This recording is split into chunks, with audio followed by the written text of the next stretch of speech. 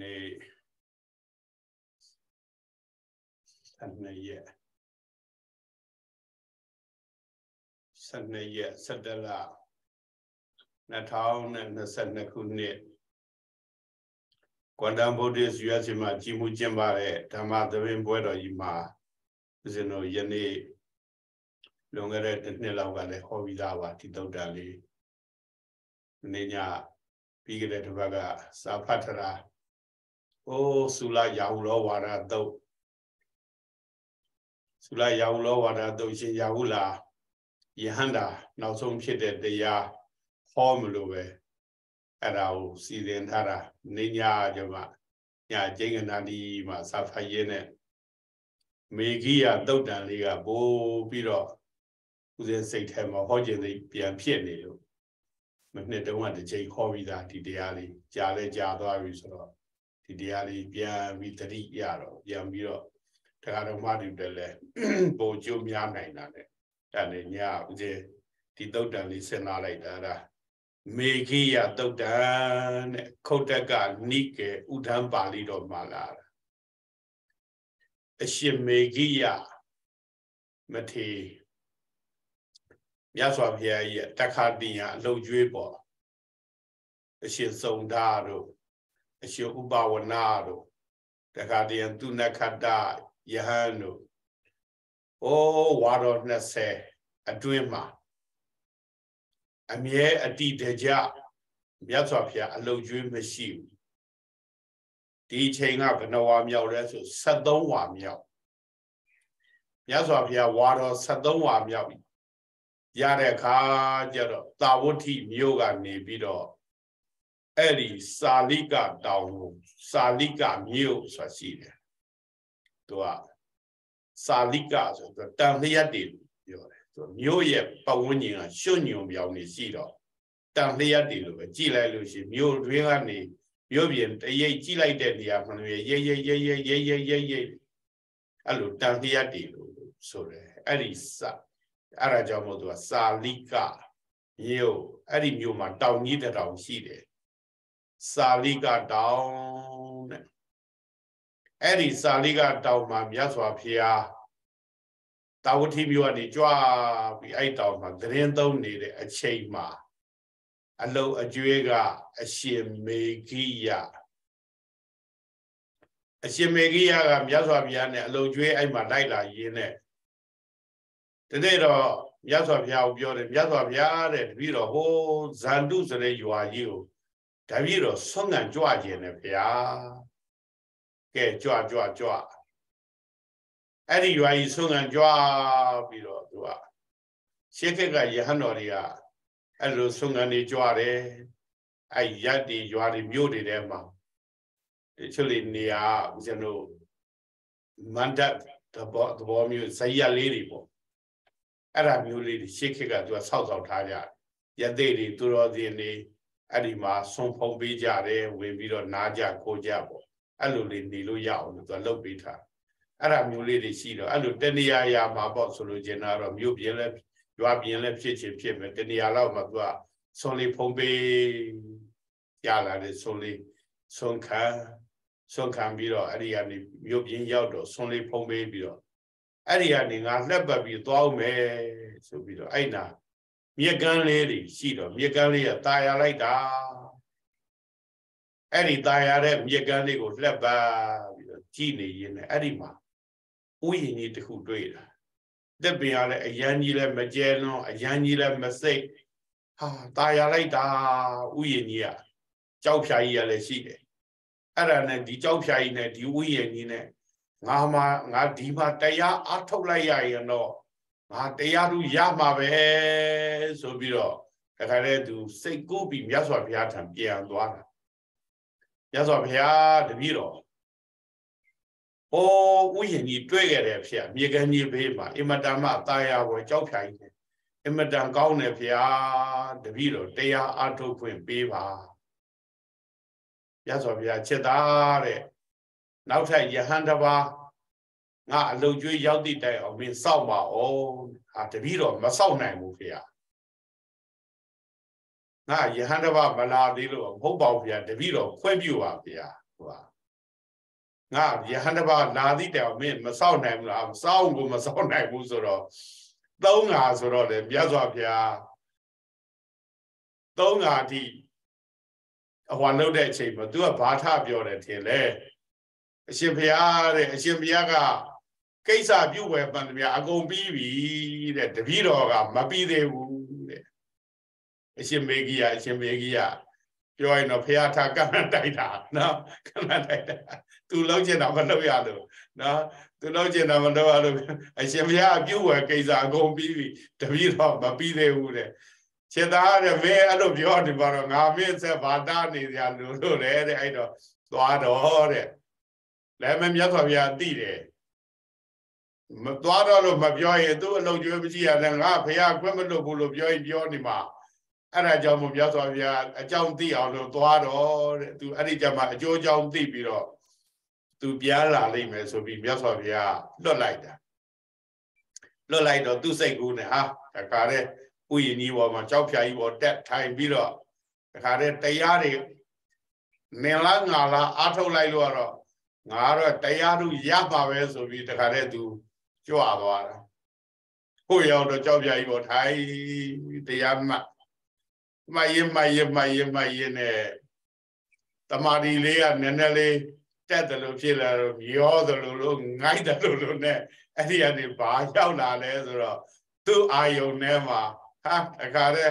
အမျိုးသမီးတွေဝိုင်းဝိုင်းလဲလို့အမလေးဟောတော်ကြီးကြောက်ဖျက်ကြီးပေါ်မှာစံနာနေတာသူ့ကိုယ်သူရှင်မြင်းကြီးလို့ဖြစ်သွားပြီအဲ့ဒီမှာ อืมတခါတဲ့အဲ့ဒီမှာကာမဝိတက်တဲ့အဲကိလေသာအာယုကာမဂုဏ်နဲ့ကြံတည်တဲ့ကာမဝိတက်တွေကလည်းလွှမ်းမိုးပြီတခါတဲ့စိတ်ထဲမှာအာကခြေသေးတွေသူအာယုနဲ့မှာအိမ်မက်မက်တလို့ကိုသူအကုန်ပြန်မြင်လာတယ်အကုန်လုံးအိမ်မက်မက်တလို့ပဲအတရားလေးမှတ်ရမှတ်ရမှတ်ရမှတ်ရနဲ့အိမ်မက်ထဲမှာမြင်တကဲ့သို့ပဲတဲ့တခါတည်းကိုအဲ့ဒီမှာလေအိုး မင်းမီမင်းမီတွေမင်းသားတွေအချွေရနေအာမောင်မမိတ်တန်နေအကုန်လုံးအဲ့ဓာတွေနဲ့သူကအာယုန်နေဖြစ်ပြီးတော့အဲ့ဒီအချိန်မှာတခါတည်းဟိုကမင်းကြီးမင်းသားတွေကတခါတည်းအဲ့ဒီမှာလူသောနှစ်ယောက်ကိုဖမ်းချလာဖမ်းချလာတဲ့ခါကျတော့သူကအဲအဲ့တကောင်ကိုတတ်ပြစ်အာတခါတည်းသူကအဲ့မှာတခါတည်းတတ်ခိုင်းတယ်အဲဟိုတယောက်ကိုတော့ထောင်ထဲထည့်လိုက်ဆိုပြီးတခါတည်း ဒီကောင်ကိုရိုက်နေညှင်းသေးပြီးမှထောင်ထဲထည့်ဆိုပြီးတော့တခါတည်းကာမဝိတေကိလေသာအာယုကာမဂုဏ်နေနဲ့ပတ်သက်ပြီးကြံစည်တဲ့ကာမဝိတက်ကလည်းတမျိုးဝင်နှိမ့်ဆက်ဒါလည်းသူများကိုတတ်ဟဲ့ဖြတ်ဟဲ့ဆိုပြီးတော့ဗျာပါဒဝိတက်နော်အဲ့ဒီဟာကလည်းနှိမ့်ဆက်ဒေါသတွေကဝိဟိန္ဒဝိတက်ဒီကောင်ညင်းလဲပြီးမှထောင်ထဲထဲဆိုပြီးတော့တခါတဲ့ အိမ်မက်မက်တယ်လို့ပဲသူအာယုံနေတဲ့မှာတခါတဲ့အမိတ်နေပေးလိုက်ပြုလိုက်နဲ့မျိုးစုံဖြစ်နေတာဘာကြောင့်သူအဲ့လိုဖြစ်တယ်လဲဆိုတော့ရှင်မြင်ဘဝနဲ့ဘဝပေါင်း900တီတီသူရှင်မြင်ဖြစ်ခဲ့တာအဲ့ဒီကြောက်ဖြာနဲ့အဲ့ဒီနေရာကသူအရင်ရှင်မြင်ဖြစ်ခဲ့တုန်းကမောင်းမမိတ်တန်ချွေရနေနဲ့သူနေခဲ့တဲ့နေရာတဲ့ အတ္တိနော်တခါတလေကျတော့ဦးဇင်းတို့တရားတော်မတွေနေရာလေးတစ်ခုကိုတခါမှမရောက်ဘူးပဲနဲ့ရင်းရင်းနှီးနှီးဖြစ်နေတတ်တာရှိတယ်နော်တခါမှမရောက်ဘူးပဲနဲ့အဲ့ဒါအတိတ်အကြောင်းဆက်တွေရှိတယ်အဲ့တိုင်ဖြစ်တတ်တယ်တခါမှမတွေ့ဘူးပဲနဲ့လေအတန်လေးကြားတာနဲ့ကိုတခါလဲမုန်းတဲ့စိတ်တွေဖြစ်တယ်ဟော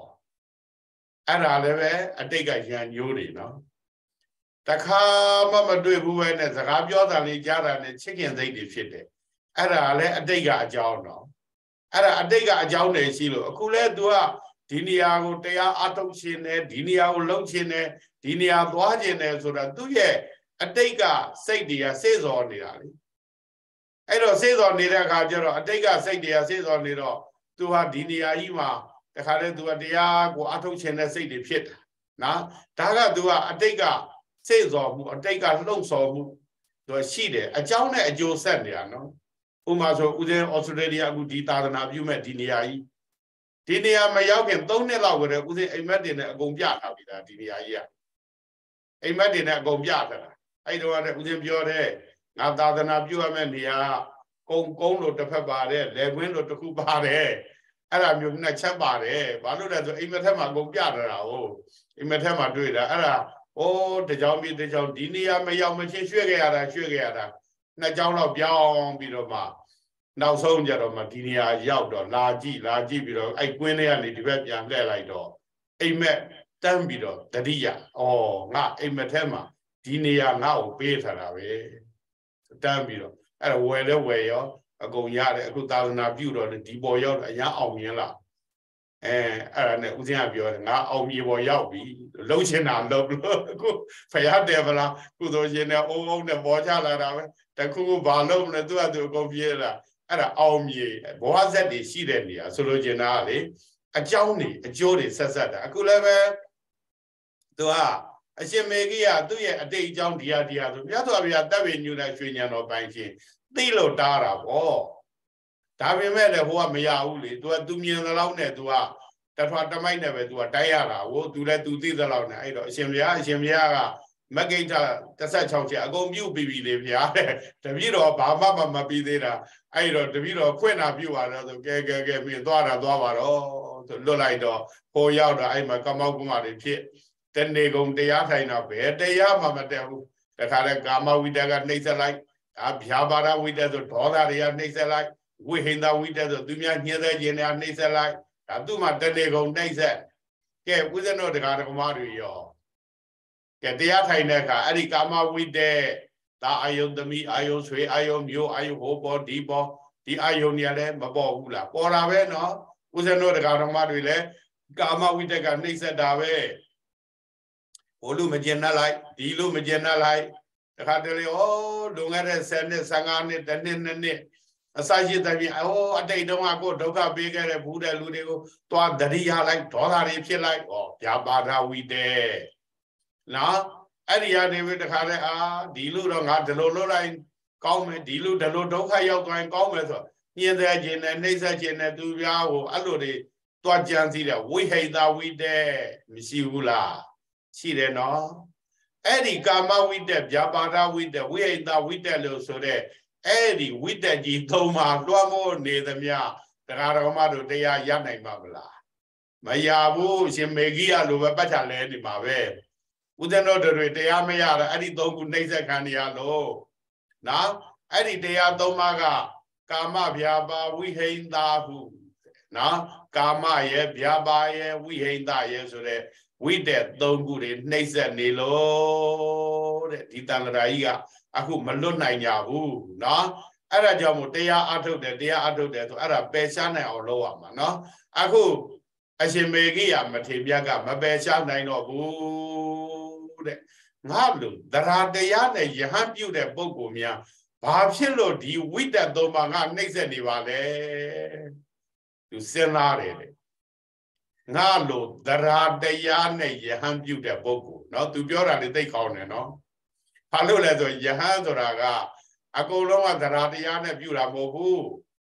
။ဗျာပပစ္စည်းတာတဲ့ဘေးတွေရန်တွေကြောက်လို့ယဟန်ပြုတာလည်းရှိတယ်နော်။အဲ့ဒါမျိုးတခါလဲဆွေတွေပြက်လို့မျိုးတွေပြက်လို့နော်။သားသေးလို့လင်းသေးလို့နော်။ဇနီးသေးလို့မယားသေးလို့အကုန်လုံးအဲ့ဒီလိုအကြောင်းမျိုးမျိုးတွေနဲ့သာသနာပေါင်းနဲ့ငါဝင်ပြီးတော့နေရရင်တော့အစဉ်ပြေမှာပဲလို့တွေးပြီးတော့ဝတ်တဲ့ပုဂ္ဂိုလ်ကတမျိုးနော် အဲ့ဒါကြောင့်ဘုရားတို့လာဘတို့ဟာသာသနာတော်တဲ့အစားနေရတော့ကောင်းတယ်ကွာနော်အစားကောင်းအနေကောင်းဒီလိုနေရာမျိုးငါသွားနေရရင်တော့ငါတက်တက်တော့အေးချမ်းပဲဆိုပြီးတော့လာတာဒီရောက်တော့တရားအထုတ်ဆိုထုတ်တော့ဘူးအဲဟောဘာလို့လဲဆိုတော့သရဏနဲ့ဝတ်တာပေါ့နော်သရဏနဲ့ဝတ်တဲ့ပုဂ္ဂိုလ်ကြတော့သူကဒီသာသနာတော်ကြီးကိုအတုံးချဖို့မဟုတ်ဘူးတရားတရားနဲ့ဝတ်တဲ့ပုဂ္ဂိုလ်ကိုယ်ခန္ဓာကိုသာသနာအတွက်ပဲအတုံးချတာ။ အော်သာသနာတော်ကြီးငါဘလို့ထမ်းဆောင်မယ်ပရိယတ္တိသာသနာပฏิပတ်တိသာသနာဆိုတော့ဒီသာသနာနှစ်မျိုးမှာငါတော့ဘလို့လေးကိုထမ်းဆောင်မယ်သာသနာတော်အတွက်ကိုအကျိုးကိုကြည့်ပြီးတော့သရာတရားနဲ့ဝတ်လို့အဲ့ဒါကိုသရာပပ္ပဇိတမဖို့ရအောင်လုပ်မယ်နော်တခါတည်းတန္တရာဝတ္တဒုက္ခတော့မောဒနာထာယနော်တန္တရာဝဆင်းရဲ့ဒုက္ခမှာလွတ်မြောက်ရပါလို့ဤနော် ရည်ရွယ်ချက်နဲ့ဝတ်တာအဲ့ဒီရွယ်ချက်နဲ့ဝတ်တဲ့ယဟန်ကြတော့သာသနာအလုပ်ကိုပဲလုပ်တယ်မကောင်းတာတွေသူကမလုပ်ချင်ငွေကြေးရဖို့အတွက်လလာပါရဖို့အတွက်ဂုံကြီးဖို့အတွက်လုပ်တာမဟုတ်ဘူးနော်အဲ့ဒါကြောင့်မို့ငါလိုသာသနာတော်တွင်မှာတရားနဲ့ယဟန်ပြုတဲ့ပုဂ္ဂိုလ်မှာဘာကြောင့်မြန်တယ်လို့တွေဖြစ်နေရတာတော့ဘလို့မှသူရုံးကန်လို့မရတော့ ဒီဝိတ္တသုံးပါသူ့ကိုတခါတည်းအချိန်တိုင်းအချိန်တိုင်းတရားလေးအားထုတ်လိုက်တခါတည်းမျောသွားသလိုဖြစ်ပြီးတော့ဒီဝိတ္တတရားပဲဝင်လိုက်နှိမ့်ဆက်လိုက်ဝင်လိုက်နှိမ့်ဆက်လိုက်အဲ့ဒီမှာလေကဲမဖြစ်တော့ဘူးငါမြတ်စွာဘုရားရှင်ကိုရောမြတ်ကြီးရဲ့ထံကိုသွားမှာပဲဆိုပြီးတော့မြတ်စွာဘုရားထံပြန်သွားပြီးတော့အရှင်ဘုရားတပည့်တော်အရှင်ဘုရားထံကနေခွင်တောင်းပြီးတော့တပည့်တော်သွားပြီးတော့တရားအထုတ်တာဘုရား ဒါဖြစ်တော့အဲ့ဒီကြောက်ဖျားကြီးရဲ့အပေါ်မှာဘုရားတပည့်တော်တရားတွေထိုင်နေတဲ့အချိန်မှာဟောဒီကိလေသာအာယုံကာမဂုဏ်တွေကိုကြံစီတယ်ဆိုတဲ့ကာမဝိတ္တကလည်းတပည့်တော်ကိုနှိပ်စက်ပါတယ်ဘုရားတတ်ခြင်းနဲ့ဖြတ်ခြင်းနဲ့ဆိုတဲ့ဗျာပါဒဝိတ္တတွေကလည်းတပည့်တော်ကိုနှိပ်စက်ပါတယ်ဘုရားသူတော်ဘာတွေကိုညှင်းတယ်ခြင်းပါတယ်ဆိုတဲ့ဝိဟိန္တာဝိတ္တဆိုတဲ့အဲ့ဒီဝိတ္တကလည်း တပည့်တော်ကိုနှိပ်စက်နေပါတယ်ဘုရားအဲ့ဒီကာမဝိတ္တဗျာပါဒဝိတ္တဝိဟိန္တာဝိတ္တဆိုတဲ့ဝိတ္တသုံးပါးနဲ့တပည့်တော်နှိပ်စက်ခံရပြီးတော့ဒီနေ့တပည့်တော်ဘာတမာတိမှလည်းမရခဲ့ဘူးဘုရားဘာမှတရားတွေလည်းမတိုးတက်ခဲ့ဘူးဘုရားဆိုပြီးတော့မြတ်စွာဘုရားပြန်ချောင်းမြတ်စွာဘုရားတပ်ပိညွတ်တဲ့ရွှေညံတော်သခင်အကုန်သိတာပေါ့အဲ့ဒါနဲ့ တင်ချတာတဲ့ဒီနေရာဟာတင့်ရဲ့အတိတ်ဘဝတုန်းကဘယင်ဖြစ်နေနေခဲ့တဲ့နေရာတွေတဲ့မောင်မမိတ်တန်ချွေရနေဒါတွေကိုပြန်ပြီးတော့အာယုန်ထဲမှာပြန်ပြီးတော့ပေါ်လာအဲ့တော့ဒီကာမဗျာပါဝိဟိန္တာဆိုတဲ့ဝိတက်တရား၃ပါးနှိမ့်ဆက်ခံနေရတော့သင်္ချေတာပြားဖွတ်တဲ့လူလိုပဲတဲ့နော် ပြားဖွတ်တဲ့လူကပြားအောင်သွားဖွတ်တဲ့ခါကျတော့ဘာလို့လဲပြားတွေကအကုန်ဝိုင်းတုပ်တယ်တဲ့အခုလည်းပဲဒါသွားပြီးပြားဖွတ်တယ်လို့အရင်တော့ကအတိတ်ကကိလေသာအယုံနဲ့ပြောခဲ့ဘူးတဲ့နေရာသွားလဲသွားလိုက်ရောအဲ့ဒီမှာကာမဗျာပါဝိဟိန္တာဆိုတဲ့ပြားသုံးကောင်တခါတည်းလက်ပတ်တုပ်လိုက်တာတခါတည်းကိုလှုပ်ကိုမရဘူးနော်အဲ့ဒါကြောင့်မို့မြတ်စွာဘုရားပြားဖွတ်တဲ့ယောက်ျားပြားအောင်ပြားကောင်တွေဝိုင်းအကြိုက်ခံရတယ်လို့ပဲ သစ်ပင်တပင်ကိုနွယ်ပင်နဲ့ရှက်ပြီးတက်ခံရသလိုပဲတဲ့အဲ့ဒီဥပမာနှစ်ချက်နဲ့ပြောလိုက်တာနော်သစ်ပင်ကိုတခါလဲနွယ်ပင်တွေကရှက်ထားသလိုပဲတဲ့ဒါသစ်ကိုတခါလဲပဲအဲ့ဒီကာမဗျာပါဝိဟိတဆိုတဲ့နွယ်သုံးနွယ်ကတခါလဲပိုက်ရန်ထားတာတက်လို့ကိုမရဘူးနော်တရားဘာမှကိုမတွတ်တတ်တော့ဘူးအဲ့ဒီကြတော့မှပြတ်စွာဘုရားရှင်ကိုရောမြတ်ကြီးက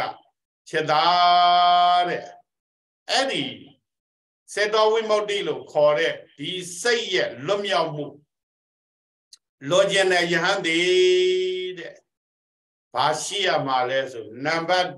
1မိတ်ကောင်းဆွေကောင်းကိုပေါင်းဖော်ရမယ်မတရားဖို့တရားလူကျင်တဲ့ပုဂ္ဂိုလ်ရဲ့အရေးကြီးဆုံးချက်ကဘာတဲ့လဲမိတ်ကောင်းဆွေကောင်းပေါင်းဖော်ရနံပါတ်1 မိတ်ဆွေကောင်းမရှိရင်မရဘူးတဲ့ကိုယ့်ကိုအကြံဉာဏ်ပေးနိုင်တဲ့မိတ်ဆွေလိုအပ်တယ်အကောင်းဆုံးတွေညွန်ပြနိုင်တဲ့မိတ်ဆွေလိုအပ်တယ်အဲ့ဒါကြောင့်မို့ကိုယ့်ကိုဘေးကနေမှဒါကတော့မှန်တယ်ဒါကတော့မှားတယ်ဒါကတော့ကောင်းတယ်ဒါကတော့ဆိုးတယ်ဟောအဲ့ဒါမျိုးညွန်ပြနိုင်တဲ့မိတ်ဆွေရှိရတယ်အဲ့လိုမိတ်ဆွေကောင်းကိုရှာပြီးတော့ပေါင်းရမယ်နံပါတ်1 မိတ်ကောင်းဆွေကောင်းရှိရနံပါတ်2ကိုချင်းသီလနဲ့ပြည့်စုံရမယ်လူဆိုရင်လည်းအောက်ထစ်ဆုံး၅ပါးသီလဒီထက်စွမ်းနိုင်ရင်၈ပါးသီလ၉ပါးသီလ10ပါးသီလဒါလူတွေဆိုလို့ရှိရင်လည်းမိမိစွမ်းနိုင်တယ်များစောက်တည် ယဟန်တော်တွေဆိုရင်လည်းပါတိပောက္ခသံဝရသီလဆိုတဲ့အဲ့ဒီသီလတွေနဲ့ပြည့်စုံအောင်အရင်ဆုံးစောင့်ထိန်ရမယ်နံပါတ်1ကဘာနဲ့ပြည့်စုံရမှာလဲသီလနဲ့ပြည့်စုံရမယ်နံပါတ်3ကျတော့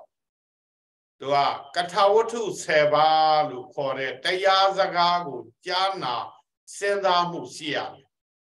တရားစကားကောင်းသောတရားစကားနာကြားရမယ်လို့လွယ်လွယ်မှတ်လိုက်တာကောင်းပါတယ်ကောင်းသောတရားစကားတွေနာကြားရမယ်စဉ်းစားမှုများရမယ်တဲ့ကောင်းသောတရားတွေကိုနာကြားစဉ်းစားအဲ့ဒါလုပ်ရမယ်အဲ့ဒါကသူကထာဝတ္ထု10ပါးကိုပြောတာတဲ့နော်ကထာဝတ္ထု10ပါးဆိုတာက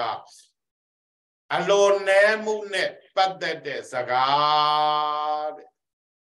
အာဟိုဟာလိုချင်းဒီဟာလိုချင်းအလိုလောဘကြီးတဲ့အကြောင်းတွေမပြောဘဲနဲ့တယောက်နဲ့တယောက်စကားပြောလို့ရှိရင်အလိုနဲမှုနဲ့ဆက်ဆက်တဲ့စကားမျိုးကိုမကြမကြကြားနာရမယ်မကြမကြနားထောင်ပေးရမယ်တဲ့နော်အလိုနဲမှုနဲ့ပတ်သက်တဲ့စကားတွေအော်ဘလို့လေးချိုးကြမေးဘလို့လေးကျင့်လိုက်တာနော်အေးဘလို့လေးအလိုနဲပြီးတော့ဘလို့လေးအစားအသောက်ကိုမတို့တော့ဘလို့လေးနေလိုက်ဘလို့လေးထိုင်နေ အဲ့ဒါမျိုးအလိုနဲမှုနဲ့ဆက်ဆက်တဲ့စကားတဲ့နော်အဲ့ဒါအမြဲတမ်းနားထောင်ရမယ်အဲ့တရားစကားမျိုးနာကြားရမယ်နော်အဲ့ဒါမျိုးတွေကိုစဉ်းစားရမယ်အလိုနဲမှုနဲ့ဆက်သက်တာနံပါတ်1တဲ့ရောင်ရဲမှုနော်တင်းတိမ်ရောင်ရဲမှုနဲ့ဆက်ဆက်တဲ့ဇကားတဲ့နံပါတ်3စိတ်ငြိမ်မှုနဲ့ဆက်ဆက်တဲ့ဇကားတဲ့ နံပါတ်4တဲ့မရောပြွားမှုနဲ့ဆက်ဆက်တဲ့ဇကားတဲ့လူတွေနဲ့တတော်တော်ရောပြွားမိနေတာမျိုးမဖြစ်စေရဘူးတဲ့နော်နံပါတ်5ဝီရိယကိုအားထုတ်မှုနဲ့ဆက်ဆက်တဲ့ဇကားတဲ့နံပါတ်6တဲ့သီလနဲ့ဆက်ဆက်တဲ့ဇကားနံပါတ်9တမာတိနဲ့ဆက်ဆက်တဲ့ဇကားနံပါတ်8ပညာနဲ့ဆက်ဆက်တဲ့ဇကားနံပါတ်9မတ်ဖို့နိဗ္ဗာန်နဲ့ဆက်ဆက်သောဇကား နံပါတ်30ပစ္စဝက္ခဏညာနဲ့ဆက်ဆက်သောဇကားဆိုပြီးတော့အာလုံးဇကား10မျိုးရှိတယ်အဲ့ဒီတရား10ပါးအမြဲတမ်းအဲ့ဒါကိုတရားစကားကို ကြားနာစဉ်းစားမှုများ ပြုလုပ်ပေးရမယ်နာကြားပေးရမယ်စဉ်းစားပေးရမယ် အလိုနေတာနဲ့ဆက်လို့ရောက်ရောက်ရဲတာနဲ့ဆက်စိတ်ငြိမ်တာနဲ့ဆက်လို့နော်အော်လူတွေနဲ့တတော်တော်နဲ့အာစကားတွေတဖောက်မောက်ပြောပြီးရောရောရောနေဖះမကြိုက်ဘူးနော်အရှင်အနန္ဒမထေရမြတ်တခါမှတန်ခါးရင်းနဲ့အုံအုံနဲ့စကားတွေပြောဆိုရသောချက်သားတဲ့အဲ့ဒီလိုတာ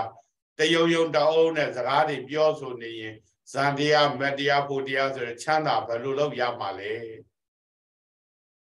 အခု ဦးဇင်းတို့ခေတ်ကြတော့အဲ့ဒါကချမ်းသာလို့မထင်ဘူးလေဖြစ်နေကြတာနော်အာလူတွေနဲ့အဖော်လေးရှိမှစကားပြောပေါ်လေးရှိမှသူချမ်းသာလို့တင်တာနော်အခုတဘာတဲ့နေတဲ့အခါကျချို့လေပြောတယ်ဟာအရှင်မြတ်ပြင်းမှုလားတဲ့တဘာတဲ့ဩတဘာတဲ့နေရတာမချမ်းသာသူကမသိဘူးနော်စကားလူရှိများများစကားပြောနေရသေးတယ်နော်မပြောရလေချမ်းသာလေချမ်းသာသူကသူကမသိဘူးအဲ့ဒါနော်အဲ့တော့ လူရှိမှအမတယောက်နဲ့တယောက်အပြပြောလိုက်ဟာဆိုလိုက်ဟာဟာတဲ့အာဒီနေ့လူကမလာလို့မေဒီကနေတော့တကားတယောက်လာသေးတယ်ဟောအဝေးကြီးကလာနောက်တော့မှသိတာစိတ်ကကြောက်ကတဲ့ဖြစ်ဟောဗျာအဲ့ဒါသူ့မျိုးသမီးလေးကပြောတယ်လေသိမ့်တောင်မှထွက်ပြေးမယ်လုပ်သေးတာတဲ့အရှင်များစီလာမယ်ဆိုပြီးတော့အဲ့ဒါလေရင်နဲ့ဆင်စီးရတယ်အဲ့ဒါအရှင်ဘုရားထံလာခြင်းလို့ပါဗျာ တပည့်တော်တရားလေးပြပေးပါဖေ။အေးအေးအေးတွေ့လည်းမတွေ့ဘူး။အေးအေးလာခဲ့လာခဲ့ဆိုတော့လာကြတာ။ရောက်တော့မှသိတယ်လမ်းတော်ထွက်ပြေးမလို့လို့တော့မင်းကဘလို့ကနေဘလို့ဖြစ်တာတော့ဆိုတော့တပည့်တော်အဲ့ဒီမျိုးမှာဗမာလည်းမရှိဘူးတယောက်တည်းနေတာတဲ့။တယောက်တည်းနေလိုက်တော့စကားပြောတော့မရှိတော့ကြောင်တောင်တောင်ဖြစ်သွားတယ်။အဲ့ဒါဘာကြောင့်လဲဆိုတရားမရှိလို့နော်။တရားမရှိတော့ဟိုစဉ်းစားဒီစဉ်းစား တခါတည်းငူတူတူငိုင်းတိုက်တိုက်နဲ့ဖြစ်ပြီးနောက်ဆုံးတော့စိတ်ကြောက်ကတည်းဖြစ်သွားတာအဲ့ဒါနော်အဲ့ဒါတရားနဲ့မနေတတ်တော့ကြောင့်မို့မြတ်စွာဘုရားသာသနာတော်တွေကြောအဲ့ဒါပဲလေနော်ဒီမှာယဟန်တော်တွေတန်ဃာတော်တွေအဲတပါးလဲတခါတည်းမြတ်စွာဘုရားကြောင့်မို့စကားပြောရင်တော့မှအလုံးနဲ့တာနဲ့ပတ်သက်လို့ကြောင်ရဲတာနဲ့ပတ်သက်လို့စိတ်ငြိမ်တာနဲ့ပတ်သက်လို့သီလသမာဓိပညာနဲ့ပတ်သက်လို့ဒီစကားတွေတော့ပြောနော်အရန်အပေါ်စာတွေမပြောနဲ့လူတွေနဲ့တွေ့ရင် မပြောနဲ့မပြောနဲ့မြတ်စွာဘုရားတော့အမြဲတမ်းအဲ့လိုတားရှာတာလေမပြောနဲ့ကိုယ့်အနေကိုငြိမ်းငြိမ်းလေးနေအေးလေးနေနော်ယဟန်ဆိုတာကိုယ့်ကိုတရားလေးနဲ့ကိုပဲအဲ့လိုလေးနေထပ်သွားပြီဆိုလို့ရှိရင်တဘာတဲ့နေရတာဒီအချမ်းသာဆုံးနော်ဦးဇင်းကြောင့်ဒီနှစ်တာနေလို့မရလို့တဘာတဲ့အဲကိုယ့်အကိုဒီမှာဟိုဘာဖြစ်လို့ပြီးကြတဲ့နှစ်တရားဆိုအဲ့လိုတလဒိဋ္ဌံဝင်လိုက်ပြီဘယ်သူမှစကားပြောတော့ကဲအားလုံးကိုနေလိုက် တော့ကိုချမ်းသာနော်ရောင်မို့ခုဒီမှာတရားစခန်းကြရင်အဲ့ဒါကြောင့်မို့ကိုယ့်အကိုအခုတရားမေးဖြေရလွဲရင်ကိုတရားယောဂီရှိရင်ဝစီပိတ်ထားပိတ်ထားဆိုတက်တာတရားတွေကိုမှ9ရက်လောက်တော့မလေးနမိတ်တွေပေါ်ကုန်ပြီဟိုမှာတခါတည်းအမြင်တွေရတဲ့လူကရကုန်ကြပြီဟိုမှာလင်း9ရက်နဲ့ကိုနော်ဟောတခါတည်းအကုန်လုံးဘေးနာဒီမှာနတ်ကြီးကလာပြီးတော့ရနေတာတွေတွေ့တဲ့လူနဲ့ဟောဒါဒါလင်း9ရက်လေးနော် ဒီတိုင်းအိမ်မှာနေတာမြင်လားဘယ်မြင်မှာလဲနော်အခုလင်း9ရက်လေးကိုတခါတည်းတမာတိကိုကြိုးလဲကြိုးစားလိုက်ရောအရှင်ဘုရားတပည့်တော်ရဲ့အတိတ်ကအာအရင်တော့ကတော်ခဲ့ဘူးတဲ့အဖိုးဆိုတော့ပုံကိုကြီးရတယ်ဘေးနားမှာလာထိုင်ကြည့်နေတာဖေဟောမြင်နေရတာနော်ချော့တွေကနတ်ကြီးရလာပြီးတော့လာပြီးတော့မတရားတွေထိုင်တော့နတ်တွေကလည်းသဘောကျလို့လာမတရားကြည့်နေတယ်ဟောသူသူစိတ်ထဲမှာအဲ့မှာတရားတွေဝင်နေထက်တယ်ဝင်နေထက်တယ်အခါတည်း မှတ်လဲမှတ်လိုက်ရောတခါတည်းအာယုန်တွေကအခုပြောတဲ့ကာမဗျာပါဝိဟိန္ဒဆိုတော့ဝိတက်သုံးပါလွင့်ထွက်သွားပြီးတော့និဝရဏတရားငါးပါးရှင်းပြီးနမိတ်တွေပေါ်ထွက်လာတဲ့အချိန်ကျတော့တိုင်းတိုင်းတိုင်းဆိုအဲ့မှာねအကုန်လုံးတခါတည်းအကုန်ပေါ်လာတာလေအဲ့ဒါဘာကြောင့်ရတာလဲဆိုတော့အခုပြောတမာတိကြောင့်ရအဲ့ဒီလိုစကားမပြောဘဲနဲ့အဲဘတ္တရမတ္တာလို့ခေါ်တဲ့အဲ့ဒီစကားပြောမှုမှာမွင့်နေရောမနေတော့ဘဲနဲ့ကိုတရားနဲ့ကိုအထုတ်ပြီးနေလိုက်လို့ရှင်ဩအဲ့ဒီအနေမှာချမ်းသာတယ် တမာတိအဲ့ဒီတမာတိချမ်းသာနဲ့အဲ့ဒါတွေရထားတဲ့ပုဂ္ဂိုလ်ကတရားကိုမထိုင်မဲကိုမနေနိုင်တော့ဘူးတရားထိုင်ဖို့ပဲအမြဲတမ်းသူကစိုင်းပြင်းနေတာနေရာလေးတွေ့လိုက်ပြီးအိချမ်းတဲ့နေရာလေးတွေ့လိုက်ပြီးတော့အခုအရှင်မေကြီးရလို့ဟာဥယျာဉ်လေးတွေ့ဟာငါတရားထိုင်ကောင်းမယ်ဆိုမျိုးစိတ်တာ စိတ်ကအဲ့လိုတွေပေါက်လာတော့တာเนาะအခုတမာတိလေးအဲ့လိုတွေရလာပြီဆိုလို့ရှိရင်အရန်ကိုအဲ့ဒီတရားနဲ့ပဲနေရအာစကားပြောပြောစရာရှိပြောပြောခဏပြောပြောပြီးကိုယ်လှုပ်လေးကိုသွားပြီးကိုယ့်ကိုတရားလေးမှပြီးငြိမ်ငြိမ်လေးအေးလေးနေတာအဲ့ဒီကနေမှရလာတဲ့တမာတိချမ်းသာတယ်အဲ့ဒီချမ်းသာတွေကဘာနဲ့မှနိုင်ရှင်လို့မရဘူးเนาะအဲ့ထက်မြင့်တဲ့ဇန်ချမ်းသာမက်ချမ်းသာပူချမ်းသာနိဗ္ဗာန်ချမ်းသာဆိုတော့ပြောမနေတော့ကြောင့်မို့ဘုရားနဲ့အရိယာကြီးတွေ တကယ်ရထားတဲ့ပုံကောအဲ့ဒီချမ်းသာပဲသူ့အတူခံစားပြီးတော့ပဲသူ့အတူအဲ့ချမ်းသာနဲ့ပဲနေနေတော့တာနော်ဒီလောကအရှုပ်ထွေးတွေအာဟိုစကားတွေပြောအာဟိုအကြရဒီအကြဟိုစိတ်ဆင်းရဲဒီစိတ်ဆင်းရဲနော်တခါတည်းဟိုဒေါသဖြစ်ဒီဒေါသဖြစ်အဲစကားတွေကြားရင်ကြားရင်ကြားရင်နဲ့အဲ့ဒါတွေကတခါတည်းကြားတာတွေအပေါ်မှာနော်အာဒေါသတွေဖြစ်လိုက်လောဘတွေဖြစ်လိုက်နေအဲ့ဒါမျိုးတွေဖြစ်တာကြောင့်မို့မြတ်စွာဘုရား စကားပွင့်လျော်မှုမနေနဲ့ငြိမ်ငြိမ်ချမ်းချမ်းလေးအဲ့လိုလေးနေသီလာကျင့်တဲ့စက်တာတွေသမာဓိကျင့်တဲ့စကားမဖြစ်မနေပြောရရင်တောင်မှအဲ့ဒီစကားမျိုးတွေနဲ့ဆက်ဆက်ပြီးပြောပါမြတ်စွာဘုရားနော်အဲ့ဒီစကားမျိုးတွေနဲ့ဆက်ဆက်ပြောတော့အဲ့ဒီလိုနံပါတ်3အချက်ကဒါအဲ့ဒီလိုတရားစကားကိုကထာဝတ္ထုတရား7ပါးလို့ခေါ်တဲ့အလိုနဲမှုတွေရောင်ရဲမှုတွေနဲ့ဆက်ဆက်တဲ့ပတ်သက်တဲ့စကားမျိုးကို နာကြားရမယ်တဲ့ဆင်ញင်ရမယ်တဲ့ဒါကနံပါတ်3ချက်နံပါတ်1မေးသွားမှာဆိုလို့မိတ်ကောင်းဆွေကောင်းပေါင်းဖော်ရမယ်နံပါတ်2သီလနဲ့ပြည့်စုံအောင်ဖြည့်ကျင့်ရမယ်နော်နံပါတ်3နော်တရားစကားကိုကြားနာစဉ်းစားဆင်ခြင်ရမယ်နံပါတ်4 လုံလဝီဒိယအပြည့်ရှိရမယ်တဲ့အထုအပ်သောလုံလဝီဒိယနော်လုံလဝီဒိယ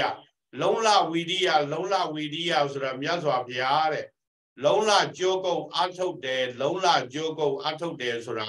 ဘလို့ဟာမျိုးကို ပြောတာပါလေဘုရားလို့အရှင်မောက္ကလံကမြတ်စွာဘုရားကိုမေးဘူးတယ်။နောက်ဝီရိယဝီရိယဆိုတဲ့နေရာမှာ ဝီရိယဝီရိယလုံးလကြုတ်ကုတ်အထုတ်တယ်ဆိုတာဘယ်လိုဟာမျိုးပြောတာပါလဲမြတ်စွာဘုရားဆိုတော့အယောကျွင်ကျွင်အသားကျွင်ကျွင်အရေကျွင်ကျွင်နော်တခါတည်းတရားကိုမရမနေငါကြိုးစားမယ်ဆိုတဲ့လုံးလဝီရိယမျိုးပြောတာတရားလေးကအားထုတ်လိုက်မရအောင်ရပါဘူးကွာတော်ပါကြီးနောက်မလုံးချင်မအောင်ဆိုရှော့ချသွား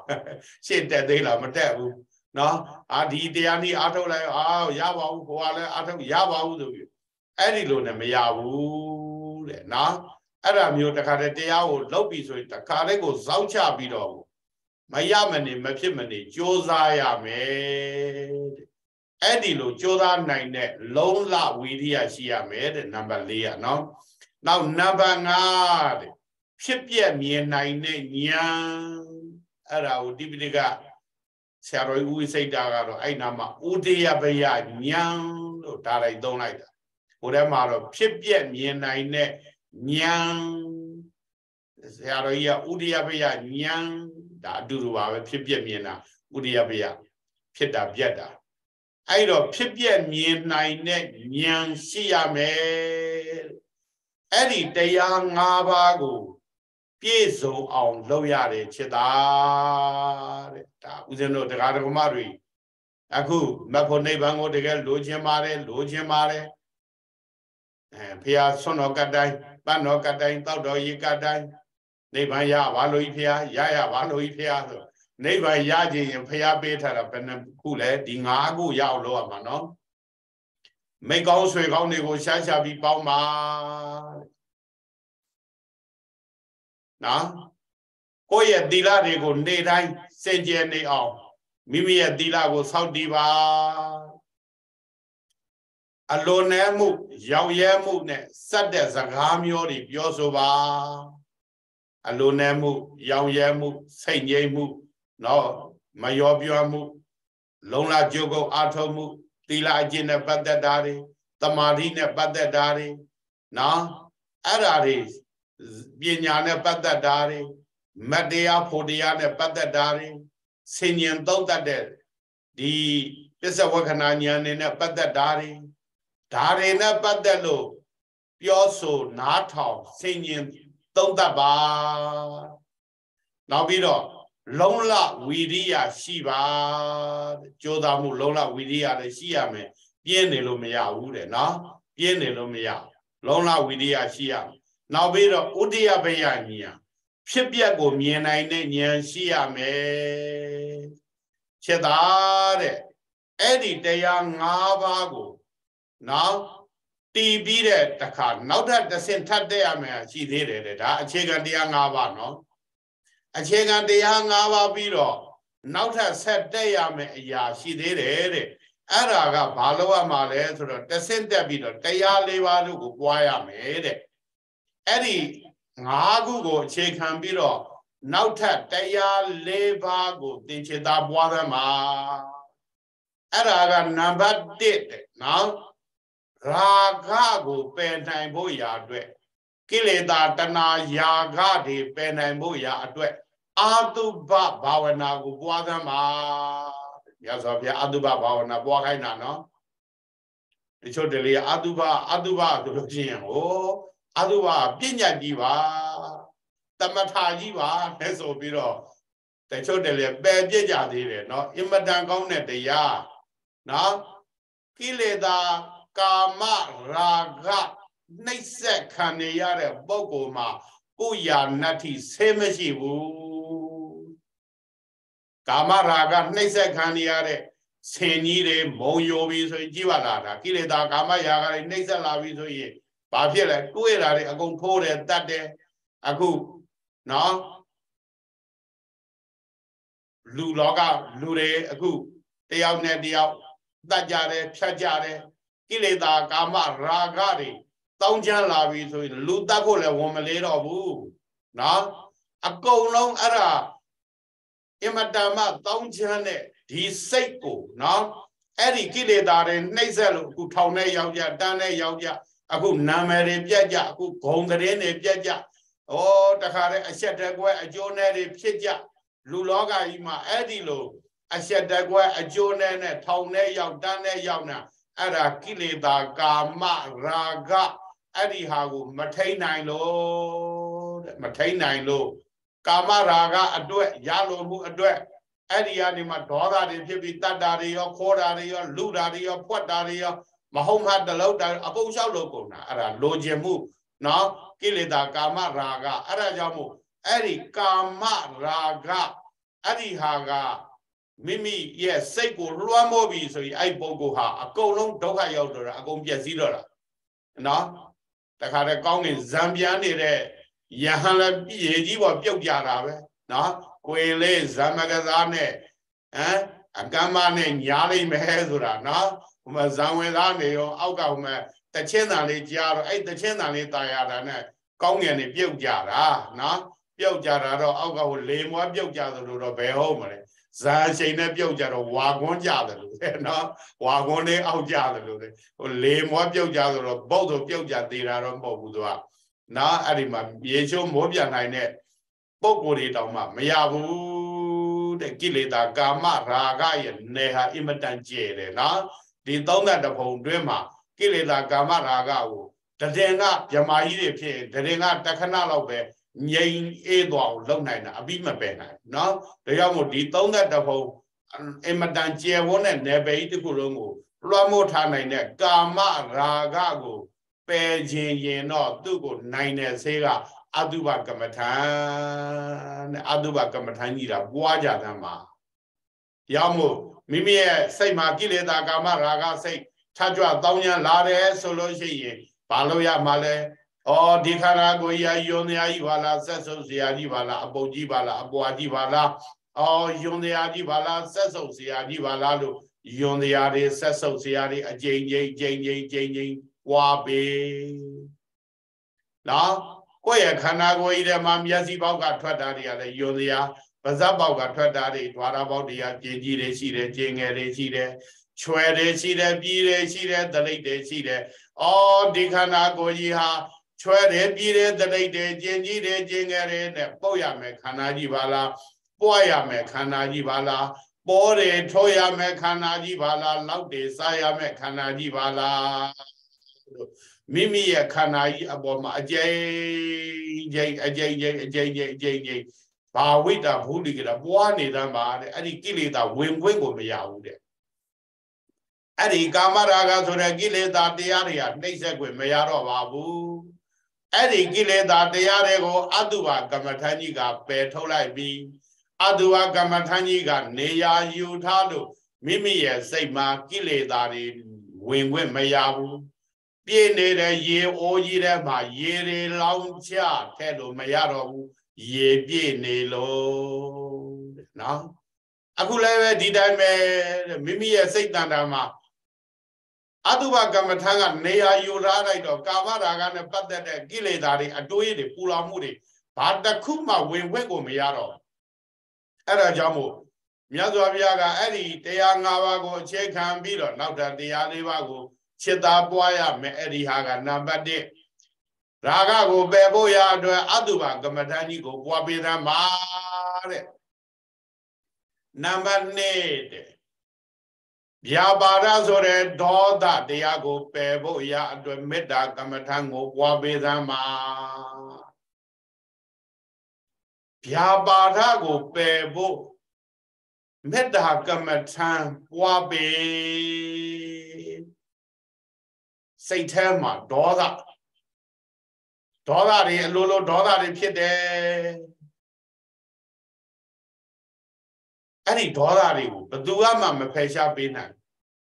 မိမိရဲ့တန်တမာဖြစ်ပေါ်နေတဲ့ဒေါသတရားကိုဘယ်သူတဝူတယောက်ကမှဖယ်ပေးမယ်ရှားပေးမယ်လို့ဖယ်ရှားပေးလို့မရဘူးမိမိကိုယ်တိုင်သာလျှင်ပယ်ရမယ်မိမိကိုယ်တိုင်သာလျှင်လုပ်ရမယ်မိမိရဲ့စိတ်တန်တာမှာပြန်စစ်ကြည့်နော်တရားတော်မတို့ကိုယ့်ရဲ့စိတ်တန်တာမှာအလိုလိုဒေါသတွေအဖြစ်များလာပြီဆိုအဲ့ဒါကံနေနေနေ အကုသိုလ်တွေဝင်နေတာဟိုဟာလည်းတွေ့လဲမကျင်နာလိုက်ဒေါသဖြစ်လိုက်ဒီဟာတွေ့လဲမကျင်နာလိုက်ဒေါသဖြစ်လိုက်ဒေါသဒေါသဒေါသဒေါသအဲ့ဒီဒေါသတွေအကြိမ်ကြိမ်ဝင်ပြီးအကြိမ်ကြိမ်ဒေါသတွေနှိမ့်ဆက်ခံရပြီဆိုရင်အဲ့ဒီပုဂ္ဂိုလ်ဒီတဖြည်းဖြည်းတဖြည်းဖြည်းနဲ့နှုတ်တွေကြမ်းလာတော့နော်ဒေါသဖြစ်လာတဲ့ပုဂ္ဂိုလ်ကတခါတည်းမျက်ထောက်ကြီးတွေနေလာပြီအန်နေကြိတ်လာပြီနော်တခါတည်းအဲ့ဒီကနေမှ မိမိရဲ့စိတ်ထဲမှာဒေါသတွေကြမ်းထန်လာပြီဆိုတဲ့အခါကျတော့နှုတ်ကနေမှဆဲတာတွေဆိုတာတွေဖြစ်လာတယ်လက်ကနေမှရိုက်တာတွေနော်ဒုံးနဲ့ရိုက်တဲ့ဓာတ်နဲ့ခုတ်တယ်နောက်ဆုံးဒေါသရဲ့အစွမ်းတော့နောက်ဆုံးတော့ကိုကိုကိုတတ်သေးတာဟောနောက်ဆုံးဒေါသရဲ့အစွမ်းတော့နောက်ဆုံးတော့ကိုကိုကိုတတ်သေးတာဒေါသအာကြီးလာအဲ့ဒီလို လူတယောက်ကို အပယ်လေးပါးကိုကြသေးအောင်ချတာကအဲ့ဒီဒေါသအဲ့ဒီဒေါသကနေပြီးတော့တက္ကရာဓမ္မတွေအပယ်လေးပါးကိုချပြစ်မှာတစ်ဖက်သောယန္တုအကိုကြောက်မချနိုင်ဘူးနော်တစ်ဖက်သောယန္တုကကိုကိုအပယ်ကြောက်အောင်မလုပ်နိုင်ဘူးသူဟာကိုကိုနှိမ့်ဆက်မယ်ဖြည့်စည်းမယ်တတ်ဖြတ်မယ်ဒါကြောင့်မို့ မိမိကိုတကယ်တမ်းအပယ်လေးပါးကိုကြစေအောင်လုပ်တာကဘယ်သူတော့ဆိုတော့မိမိရဲ့အတွင်တန်တန်မှာရှိတဲ့ယန္တုဖြစ်တဲ့ဒေါသအဲ့ဒီဒေါသယန္တုကငရဲကြောင်ချပလိုက်တာဒေါသနဲ့ဒီငရဲပြေဆိုတာတကယ်တမ်းကတော့ပြပယန္တုကချတာမဟုတ်ဘူးတဲ့နော်ဒါကြောင့်မို့မိမိရဲ့စိတ်တန်တန်မှာဖြစ်နေတဲ့အဲ့ဒီဒေါသကိုပယ်ရှားကြည့်ရင်မေတ္တာပွားပါ တမာရီလေးကိုရအောင်လုပ်ပြီးတော့မေတ္တာပွားရင်တော့ပိုးပို့ပိုးပို့ပြီးတော့ဆူရှာပိုးပို့ပိုးပို့ပြီးတော့တိတာတယ်လွန်ခဲ့တဲ့2ရက်3ရက်လောက်ကဦးဇင်ကိုကိုကိုဖြတ်ဆိုမနဲ့မျက်နှာသိရင်းနဲ့ကိုမျက်နှာကိုပြန်ကြည့်လိုက်တဲ့အချိန်မှာအရန်ကြည်ပြီးနေတာသွားပြီးတော့ချက်ချင်းကြီးသတိထားမိလိုက်ဖြတ်ဆိုဩ ငါမျက်နှာပြန်အာယုံပြန်ကြည့်တော့ဩဒီရပိုင်းမှာဦးဇင်းအဲ့ဒီမေတ္တာကမ္မထံပွားတာမေတ္တာကမ္မထံပွားတဲ့အခါကျတော့ဦးဇင်းကကိုယ့်ရဲ့နှလုံးအိမ်နေရာလေးလောက်မှာအာယုံလေးပြုပြီးတော့ကြည်တယ်ဟိုတော့ကတရားတွေအထုတ်တဲ့အချိန်တုန်းကကိုကဒါဒီတမာတိတွေရအောင်လုပ်ထားတဲ့အကျိုးတရားနော် တမာတိတွေရအောင်လုပ်ထားတဲ့အခါကျတော့စိတ်ကပရိကမနမိတ်ဩဃနမိတ်ပရိဘာဂနမိတ်ဆိုတဲ့နမိတ်တွေအရင်တော့ရအောင်အထုတ်ထားတဲ့အခါကျတော့အဲ့ဒီပရိဘာဂနမိတ်ရဲ့စိတ်အကြည်အလင်းနော်အဲ့ဒီအကြည်အလင်းကကိုယ်မှရထားပြီးသားဆိုအဲ့ဒါလေးနှလုံးအိန္ဒိယလေးလောက်ကိုကြည့်လိုက်တယ်ဆိုရင်အဲ့နာလေးကြည်ပြီးလင်းနေအဲ့ဒါလေးနဲ့နှလုံးအိန္ဒိယလေးလောက်ကိုထိုးပြီးကြည့်လိုက်တဲ့နဲ့ကြည်လင်းသွားပြီဆိုတော့အဲ့ဒီအကြည်ဓာတ်အလင်းဓာတ်လေးကို ဦးစင်းကဒီကြောင်းဝင်းကြီးတဝင်းလုံးကိုဖြန့်အဲ့ဒီအကြည်ဓာတ်အလင်းဓာတ်နဲ့ဒီကြောင်းဝင်းတဝင်းလုံးမှာတခါတည်းဆလိုက်ပြီးနဲ့ထိုးတယ်လို့တခါတည်းဖြန့်ပြီးဒီကြောင်းဝင်းတွေမှာရှိကြဂုံသောလူနာမြမတ attva တွေကျမ်းမာကြပါစေချမ်းသာကြပါစေ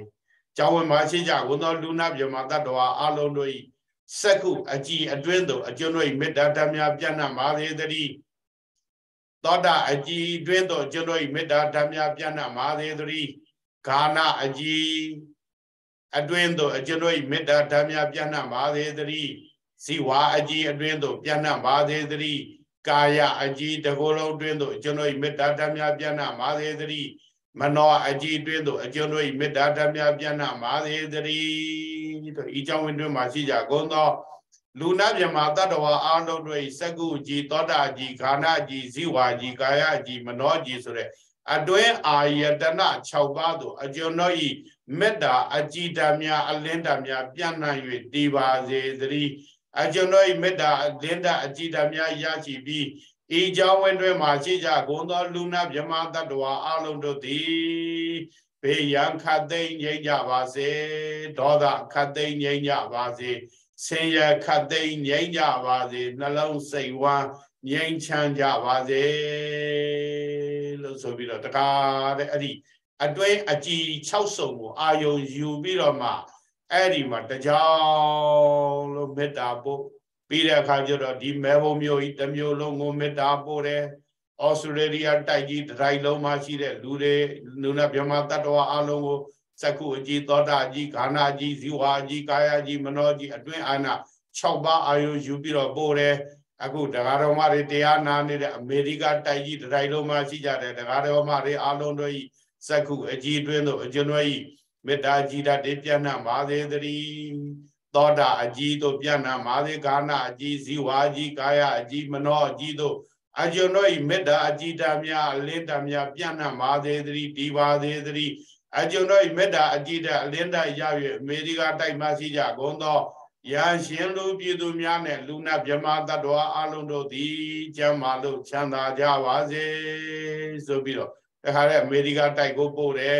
နော်မြန်မာပြည်ပို့တယ်တကဘာလုံးကိုပို့တယ်သုံးသက်တဖုံသားတွေပို့တယ်ဆိုပြီးတော့တခါတဲ့အချိန်တော့ကြာတာပေါ့မေတ္တာဓာတ်ဒီအလင်းဓာတ်ကိုယူအကြည်ဓာတ်ကိုယူယူယူယူပြီးမှဖြန့်ဖြန့်ဖြန့်ဖြန့်ဖြန့်ဖြန့်ပြီးတော့ မေတ္တာကမ္မဋ္ဌာန်းစည်းဖြန့်တော့နောက်ရက်ကျတော့အမှတ်တမဲ့ကြည့်တော့မျက်စိအယောင်ကဆိုပြာလက်လက်လို့ပြောင်းလာတာခွက်ကိုမှန်ထဲမှာကြည့်ရင်းနဲ့ငါမျက်နှာဘလို့ပြောင်းသွားပါလဲဆိုအဲ့ဒီကြတော့မှပြန်ပြီးဩဒါငါမေတ္တာစွမ်းအားမေတ္တာစွမ်းအားလို့နော်မေတ္တာဒီစူးစူးဆိုင်ဆိုင်နဲ့ဒါဒီနေ့မနေ့ဆိုလဲတနားရီခွဲနှစ်နာရီလောက်ကြာအချိန်တော့ကြာတာပေါ့ဒါအဲ့ရနိုးနိုးချင်း ထိုင်ပြီးတော့အဲ့ဒါမေတ္တာကမ္မထာနေစီးဖြန်းပြီးနေတာအဲ့ဒါကြောင့်မို့တမာတိကိုရအောင်လုပ်ဦးဇင်းပြောတာတမာတိရပြီးမှပို့တယ်မေတ္တာနဲ့ဒီတိုင်းရှေးရ၌ရှိသောနန္ဒစัจ java လားအနန္တတတ္တဝါတို့ပို့တာနဲ့ကြွားတယ်နော်ဘုဟာကတကဲကိုသူစူးစိုက်သွားဒီအတွဲအကြည်6ဆုံအဲ့ဒါကိုလေဒီဆရာတော်ဘုရားကြီးရဲ့တပည့်ဆရာတော်ဥဇဝနသူ့ရဲ့အဲ့ဒီမှာအကြည်6ဆုံမေတ္တာပို့နေဆိုတာအဲ့ဒီကနေမှအဲ့ဒါဆရာတော်ဘုရား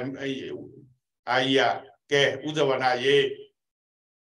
မှန်ကူကွယ်လေးရိုက်ပေးတာမှာဘာလို့လဲဆိုဆရာတော်ကြီးကလေဒီဆရာတော်ကြီးကတရားဟောတော့မမြတ်တဲ့အနှောက်ချက်တရားနှောက်ချက်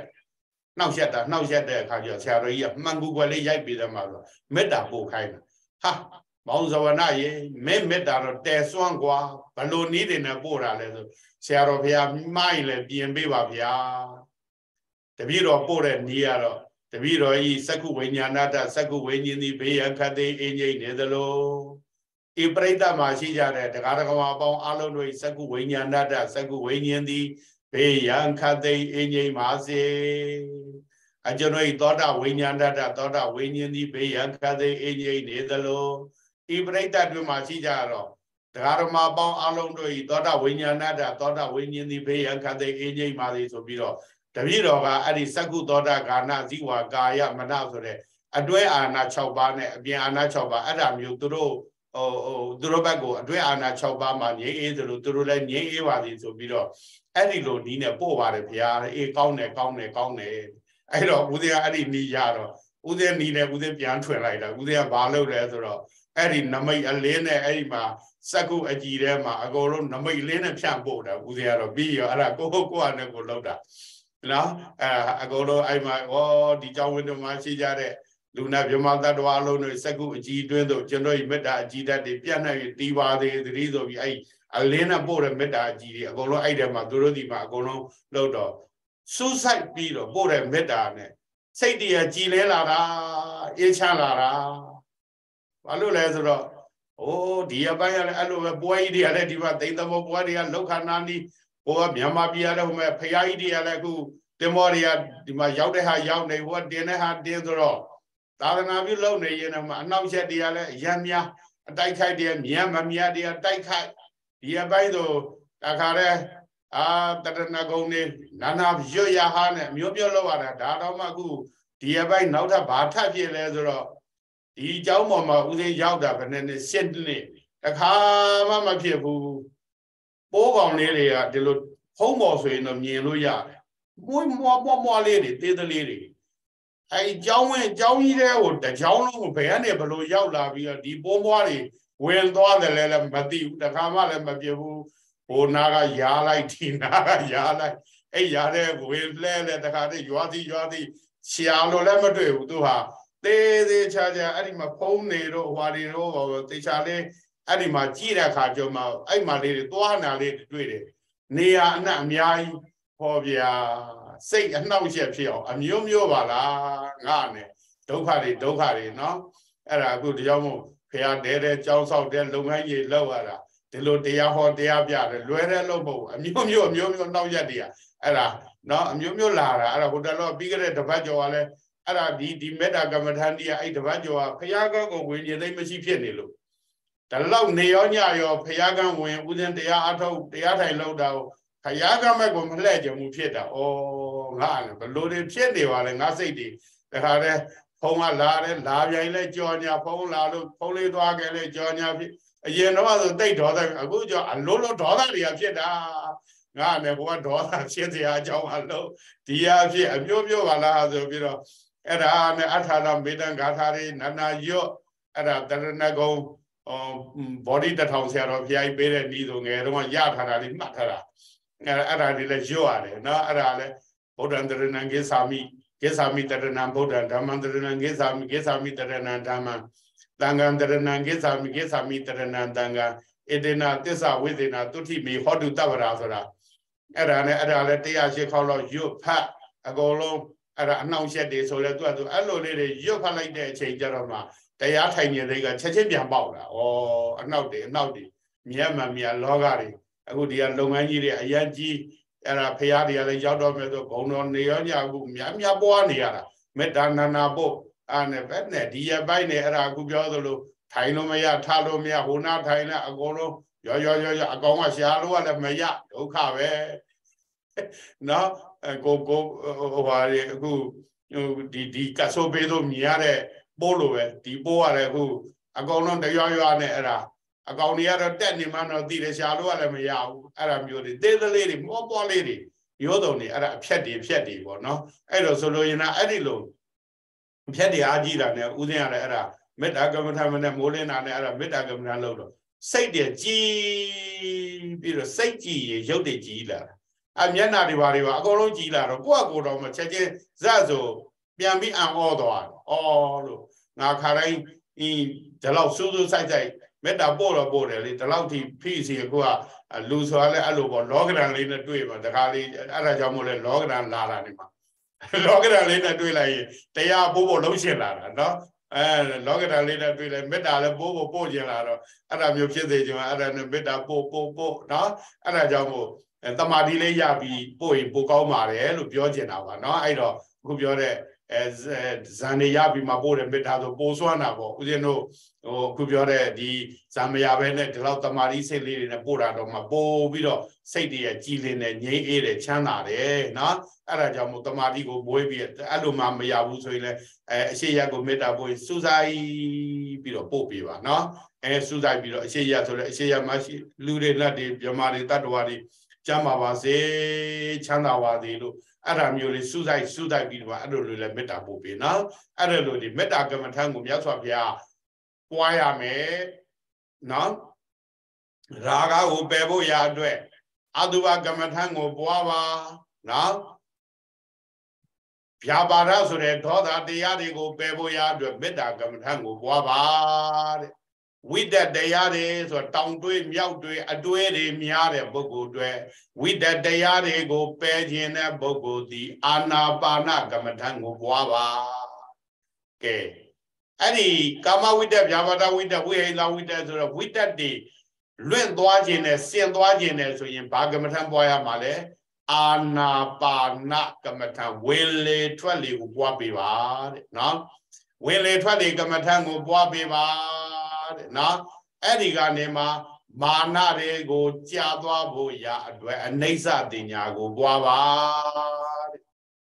မာနတွေခွာနိုင်ဖို့ရအတွက်ဒီခန္ဓာကိုယ်ကြီးကိုအတ္တအဖြစ်ငါကိုငါဟာငါဥစ္စာလို့ယူထားပြီးငါလှတယ်ငါချောတယ်ငါငါငါလုံနေတဲ့မာနကိုခွာချခြင်းရင်တော့ဘာလို့ရမှာလဲအနိစ္စကိုပွားပါ သောသောပြောတဲ့အောက်ကအခြေခံတရား၅ပါးကိုနော်အခြေခံပြုတ်ပြီးတော့ဒီတရား၄ပါးကိုจิตသားမင်းဆက်ပြီးတော့ပွားရမယ်တဲ့အဲ့ဒီတရား၄ပါးကိုပွားတဲ့အခါကျတော့အတုပဘာဝနာကိုပွားပေးပါရာဂကိုပယ်ဖို့မေတ္တာဘာဝနာကိုပွားပေးပါဒေါသကိုပယ်ဖို့အာနာပါနကမ္မထံကိုပွားပေးပါဝိတ္တတွေကိုပယ်ဖို့တဲ့ အနိစ္စတင်ညာကိုပွားပေးပါမာနတွေကိုပယ်ဖို့နော်ဒီတရားလေးပါးကိုတခါတည်းသင်ပွားမယ်ဆိုလို့ရှိရင်အဲ့ဒီတခါတည်းအနိစ္စအနိစ္စအနိစ္စဒီယုတ်တရားတွေအပေါ်မှာတရားဓမ္မတို့အခုငယ်ရိတ်ကနေခြေပြခြေပြနေငယ်ရိတ်ဒီတခါတည်းယုတ်တရားတွေကိုဒလက်ဇက်ကြီးတခါတည်းကြည့်လိုက်တဲ့အခါကျယုတ်တရားတွေဖြစ်တယ်ပြက်တယ်ဖောက်ပြန်တယ်ပြောင်းလဲတယ်အဲ့ဒါဖောက်ပြန်တယ်ပြောင်းလဲတယ်ပျက်စီးတယ်ဆိုတာမြဲသလားမမြဲဘူးလားကြည့်အဲ့ဒါမမြဲလို့ အဲ့ဒီမမြဲတဲ့အနိစ္စတရားတွေကိုကြည့်တဲ့အခါကျတော့အော်ဒီယုတ်တရားတွေဟာလည်းမမြဲတဲ့သဘောပါလားအဲ့ဒီယုတ်တရားတွေမမြဲတဲ့ယုတ်တရားတွေဟာချမ်းသာလားဆင်းရဲလားဆိုတော့အဲ့ဒီလိုဖြစ်လိုက်ပြက်လိုက်ဖြစ်ပြက်နေရလို့အဲ့ဒါဒီဆင်းရဲအဲ့ဒါဒီဒုက္ခအဲ့ဒီဆင်းရဲဒီဒုက္ခပဲတဲ့ရုပ်တရားတွေဟာဖောက်ပြန်နေတယ်ပြောင်းလဲနေတယ်ပျက်စီးနေတယ်ဖောက်ပြန်ပြောင်းလဲပျက်စီးနေလို့ အဲ့ဒါကိုမမြဲလို့အနေစာအဲ့ဒီမမြဲတဲ့အနေစာတရားတွေဒီဆင်းရဲလားချမ်းသာလားဆိုတော့အဲ့ဒီဖြစ်ပြနေရလို့အဲ့ဒါဒီဒုက္ခအဲ့ဒါကိုသင်္ခါရဒုက္ခလို့ခေါ်တယ်အဲ့ဒီဖြစ်ပြသင်္ခါရဒုက္ခကြီးတွေကိုမဖြစ်ပါနဲ့မပြတ်ပါနဲ့လို့တားလို့မရစီးလို့မရတာဒီအနတ္တ ဒါကယုတ်တရားဘဝနေမှာရှုတာငယ်တွေကနေခြေပြခြေပြနေငယ်တွေဖြစ်တယ်ပြတ်တယ်အော်အနေစာအနေစာအနေစာအနေစာအနေစာဒါကလည်းယုတ်တရားတွေဖြစ်လိုက်ပြက်လိုက်ဖြစ်လိုက်ပြက်လိုက်ဖြစ်လိုက်အော်ပူလာလိုက်အေးလာလိုက်နည်းနည်းပူလိုက်များများပူလိုက်နော်တခါလည်းပူလာလိုက်အေးလာလိုက်ထုံလာလိုက်ကျင်လိုက်လိုက်ကြိုက်လာလိုက်တောင့်လာလိုက်ယုတ်တရားတွေခန္ဓာကိုယ်ကြီးပေါ်မှာကြည့်တဲ့အခါကျတော့ပေါ်ရပေါ်ရတွေလိုက်ရှုတဲ့ပုဂ္ဂိုလ်ကလည်းပေါ်တဲ့နေရာလေးကိုတတိထားကြည့်တင်းနာပေါ်ရင်တင်းနာစာတင်းနာလည်းတင်းနာအစုံ ပူရာစာပူရာလည်းပူတဲ့အစုံရတာစာရတာလည်းရတာအစုံဒါပေါ်ရပေါ်ရကိုရှုတဲ့ပုဂ္ဂိုလ်များကအဲ့ဒီပေါ်တဲ့သဘောတွေရမမြဲတဲ့အနိစ္စလက္ခဏာတွေကိုဆင်ញင်ပြီးတော့ပေးပါတဲ့အဲ့ဒီဆင်ញင်မှများတဲ့အခါကျတော့အဒီယုတ်တရားတွေဟာပူတလဲအဲ့တလဲတောက်တလဲတင်းတလဲထုံတလဲနဲနဲပူလိုက်များများပူလိုက်နဲ့ဩအမျိုးမျိုးဖောက်ပြန်ပြောင်းလဲပြည့်စည်နေလို့မမြဲတဲ့အနေစာအဲ့ဒီ ဖြစ်ပြနေရလို့အဲ့ဒါကြီးအနေစာအနေစာအနေစာယူရင်ယူရင်နဲ့အဲ့ဒီဖြစ်ပြတရားတွေကိုညင်းငွေသွားတဲ့သင်္ခါရဒုက္ခတွေရမယ်နော်အဲ့ဒါတွေကိုဒုက္ခလို့ထင်လာတဲ့အခါကျမှဩဒီဖြစ်လိုက်ပြက်လိုက်ကြီးကိုမဖြစ်ပါနဲ့မပြက်ပါနဲ့လို့တားလို့မရစီးလို့မရတဲ့အနတ္တပါလားလို့အနိစ္စလက္ခဏာဉာဏ်ရဒုက္ခလက္ခဏာဉာဏ်ရအနတ္တလက္ခဏာဉာဏ်ဆိုတဲ့လက္ခဏာဉာဏ်သုံးတာပေါက်တယ်နော်ဒါရုပ်ပေါ်မှာ ဖောက်ထွက်တာနော်ရုပ်တရားပေါ်မှာအခုငယ်တွေကနေပြီးတော့ခြေပြားထိလက်နှလုံးလောက်လက်နှလုံးလောက်လိုက်ကြည့်ချင်းကြည့်ငယ်တွေကနေလဲပင်လဲပင်ကနေခါခါနေခြေပြားထိသုံးပိုင်းပိုင်းပြီးတော့ရှုတဲ့နီးနဲ့ကြည့်ချင်းကြည့်ပေါ့နော်အဲ့ဒါမျိုးမိမိတို့တစ်မျိုးပြီးတစ်မျိုးကြည့်ကြည့်ကြည့်ကြည့်ပြီးတော့အဲ့လိုတွေရှုမှတ်ပွားများပြီးတော့ကြည့်တဲ့အခါကျတော့မဟာဗုဒ္ဓယုတ်ဓာတ်ကြီး၄ပါးတို့သည်တရိပ်ရိပ်တဖွာဖွာတရွရွနဲ့ ဖောက်ပြန်နေတဲ့သဘောတွေပျက်စီးနေတဲ့သဘောတွေမမြဲတဲ့အနိစ္စရသဘောတွေသိလိုက်မယ်အဲ့ဒါသည်ရုပ်ကိုပိုင်းခြားပြီးတော့သိတာရုပ်တရားရဲ့အနိစ္စရုပ်တရားရဲ့ဒုက္ခရုပ်တရားရဲ့အနတ္တအဲ့ဒါလက္ခဏာရဲ့သုံးတာရုပ်ပေါ်မှာညာပေါက်တာနော်ဦးဇင်းတို့တရားတော်မတွေတခါနောက်ပြီးတော့ဝေဒနာခံစားတဲ့သဘောတွေတင်ညာမှတ်သားတဲ့သဘောတွေသင်္ခါရစိတ်သောတိုက်တွန်းတဲ့သဘောတွေလောဘဒေါသ မောဟတွေဝိညာဉ်သိတဲ့သဘောဆိုတဲ့နာခန္ဓာ၄ပါးအဲ့ဒီနာခန္ဓာ၄ပါးမှာလည်းဝေဒနာတွေကလည်းဖြစ်ပြီးတော့ပြည့်ရတဲ့အနေစာအဲ့ဒီဝေဒနာတွေဒီဖြစ်လိုက်ပြက်လိုက်ဖြစ်လိုက်ပြက်ပြက်ဖြစ်လိုက်ပြက်လိုက်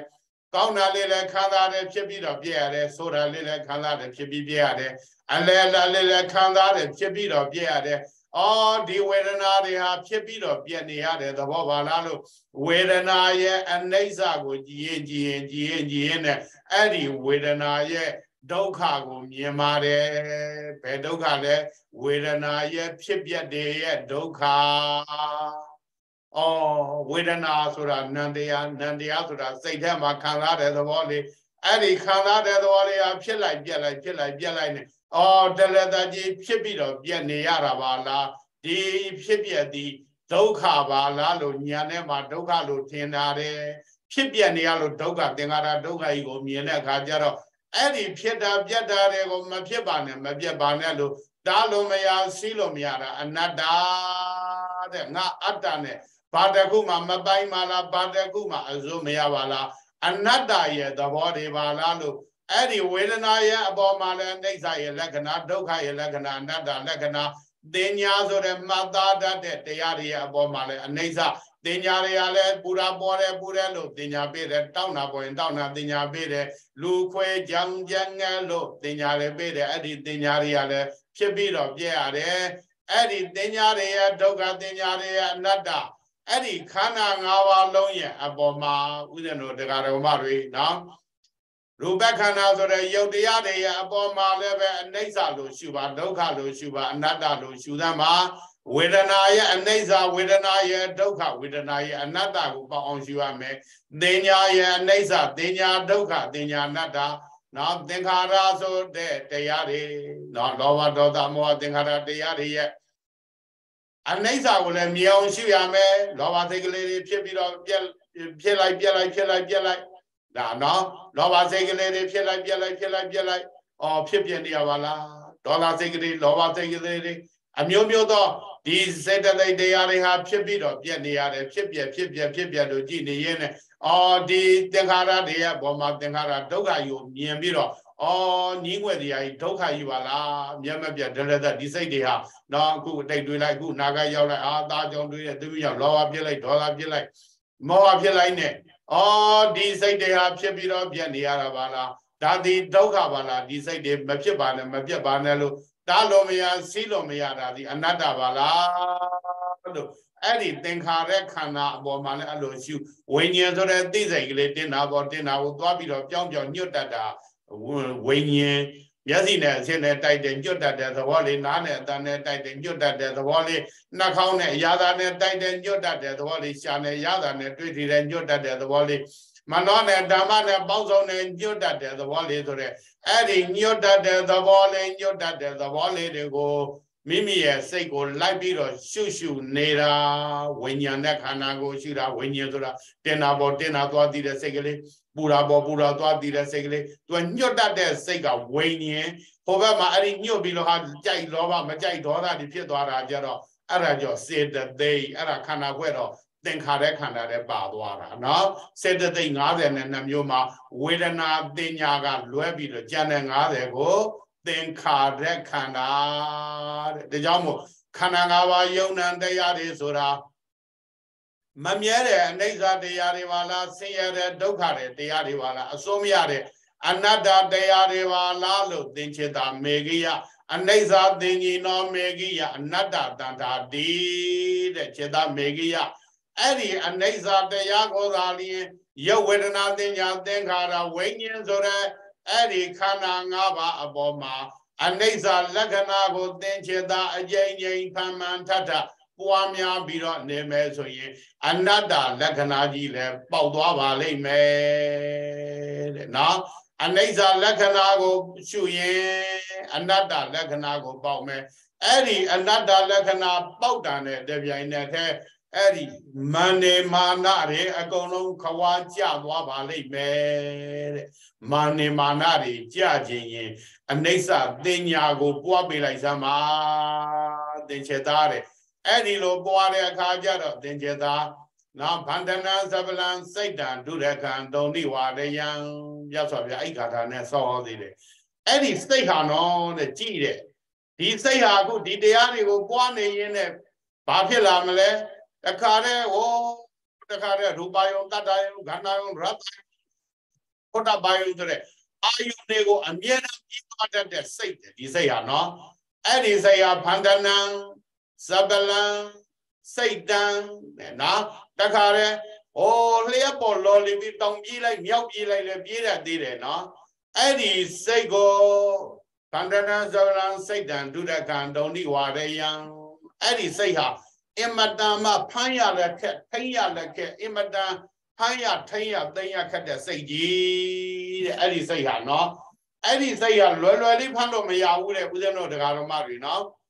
လွယ်လွယ်လေးဖမ်းလို့မရဘူးတောင်ပြေးလိုက်မြောက်ပြေးလိုက်နဲ့ပြေးနေတဲ့အဲ့ဒီစိတ်ကိုတဲ့မြတ်စွာဘုရားဒုံဒီဝရယံဥဇုံကရောတိမေရာဝေဥတုကာရောဝဒေသနံ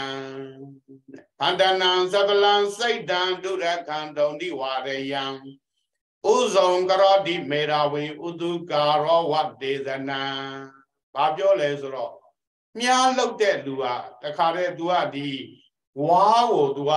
ပွေးနေတဲ့ဝါးတွေဆိုတော့တခါမီးလေးနဲ့ပြန်ဖြောင်းဖြောင်းပြီးမြားကိုသူကတေးသေးချာချာဖြောင်းတန်းနေအောင်လုပ်တယ်လို့ပဲတဲ့မိမိရဲ့စိတ်ကလေးက အဲ့ဒီလိုတောင်ပြေးမြောင်ပြေးဟိုရောက်ဒီရောက်ရောက်နေတတ်တဲ့အဲ့ဒီမိမိရဲ့စိတ်ကလေးကို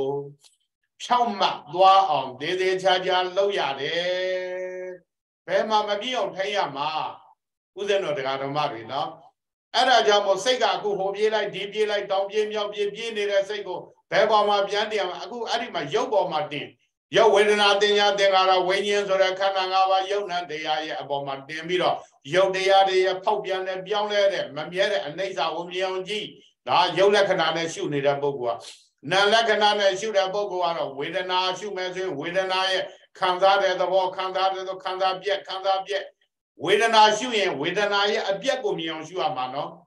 ရုပ်ကိုရှုရင်ရုပ်ရဲ့အပြက်ကိုမြင်အောင်ရှုရမယ် ရုပ်တရားတွေဖြစ်တယ်ပြက်တယ်ဖြစ်တယ်ပြက်တယ်ဆိုမြင်အောင်ရှုရမယ်နော်နံတရားတွေရှုရင်ဝေဒနာ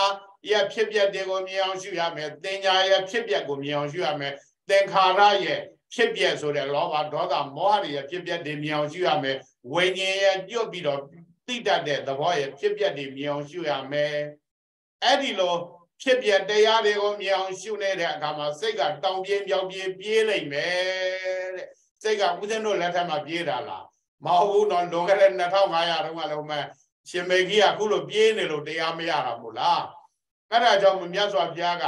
အဲ့ဒီဖန္တနာဇဗလံစိတ်တံဆိုတဲ့ဒီကာထာနဲ့အဲ့ဒီစေရရဘောလော်လီတဲ့တောင်ပြေးမြောက်ပြေးရူပတတ္တကန္နသဘုရားပါဆိုတဲ့အာယုံ၅ပြာကာမဂုဏ်တရားတွေမှာအမြဲတမ်းလှည့်လည်ပြီးတော့ကျက်စားနေတတ်တဲ့စိတ်တဲ့အဲ့ဒီလိုလှည့်လည်ပြီးတော့ကျက်စားနေတတ်တဲ့အဲ့ဒီစိတ်ကို သေးသေးချာချာလေးဆုံးမလိုက်စမ်းပါသေးသေးချာချာလေးကြိုးစားပြီးတော့အားထုတ်လိုက်စမ်းပါ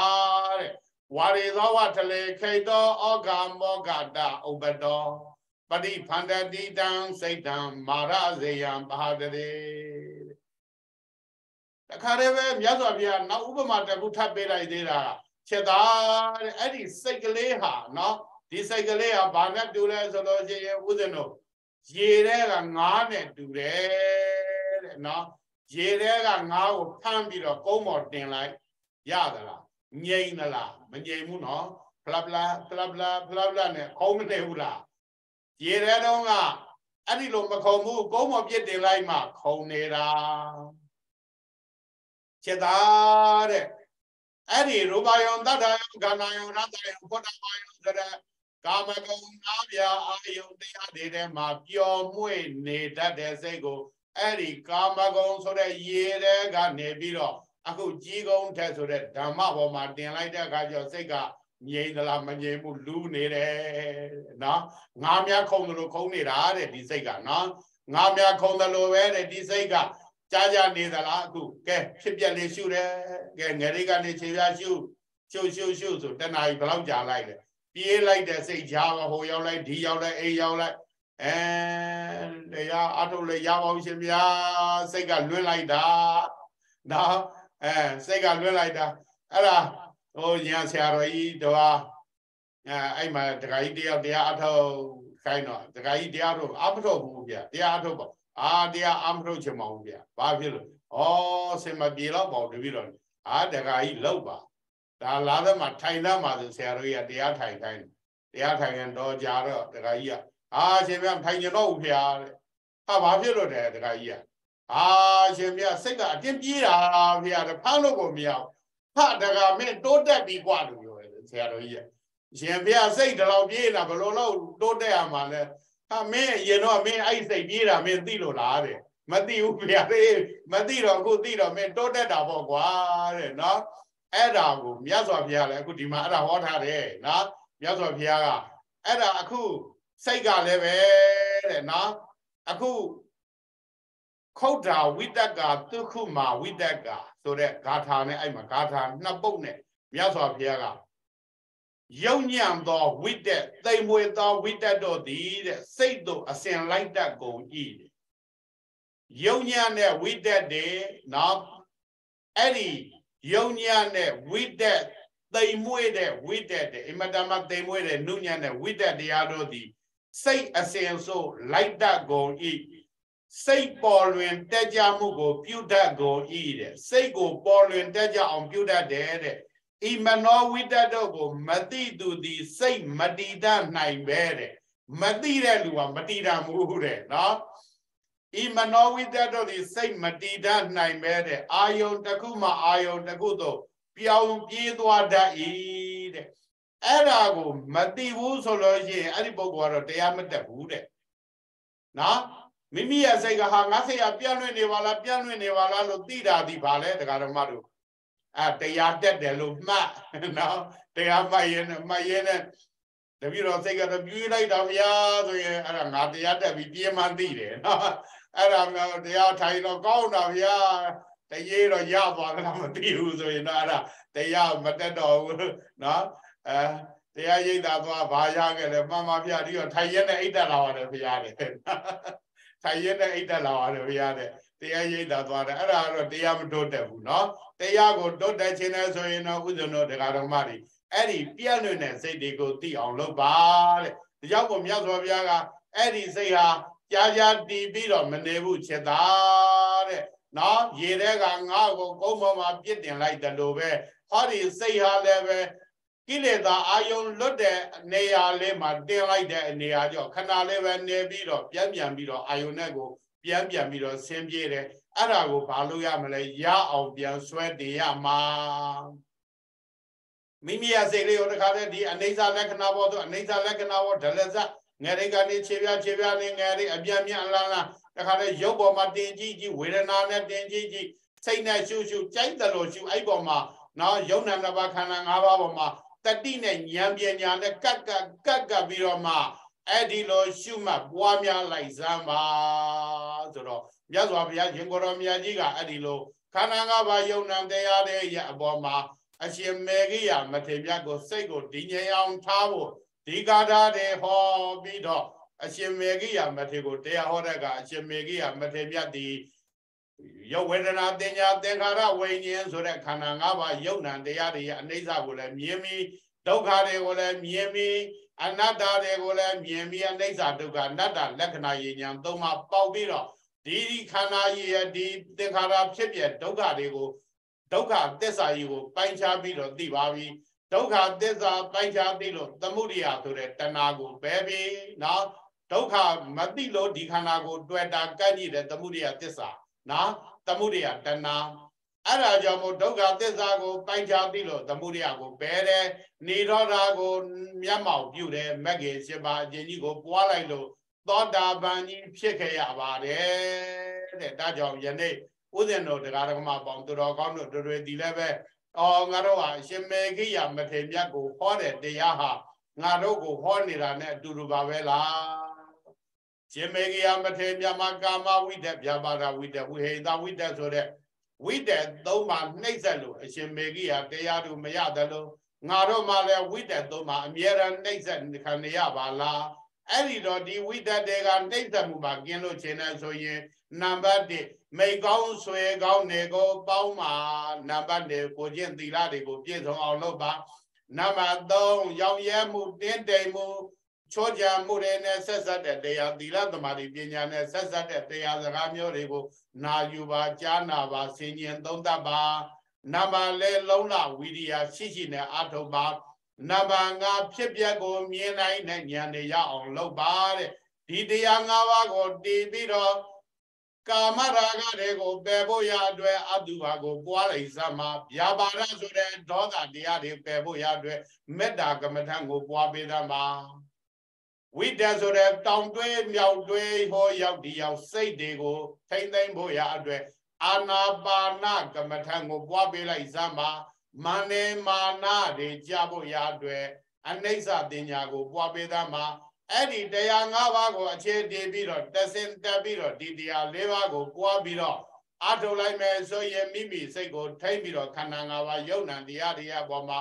အနိစ္စဒုက္ခအနတ္တလက္ခဏာရေသုံးပါတင်ပြီးတော့ရှုနိုင်မယ်ဆိုရင်မြတ်စွာဘုရားရှင်ကိုရောမြတ်ကြီးနဲ့အရိယာပေါင်းတွေထိုးတွင်သိအပ်တဲ့မတရားဖို့တရားလည်းရနိုင်ပါတယ်ဒါကြောင့်ယနေ့တရားတော်မှာပေါင်းတော်ကောင်းတို့တွေဒီမြတ်စွာဘုရားရှင်ကိုရောမြတ်ကြီးဟောကြားတော်မူခဲ့သော မေဂိယသုတ်တံကိုတရားဒေသနာကိုနာယူပြီးတကာလမတရားဖို့တရားမညာဖို့ညာနိဗ္ဗာန်ချမ်းသာတရားတော်မြတ်ကိုရလွယ်ရောက်လွယ်မျက်မှောက်ပြုလွယ်နိုင်ကြပါစေကုန်တော်တည်းသာတုသာတုသာတုပါဖျား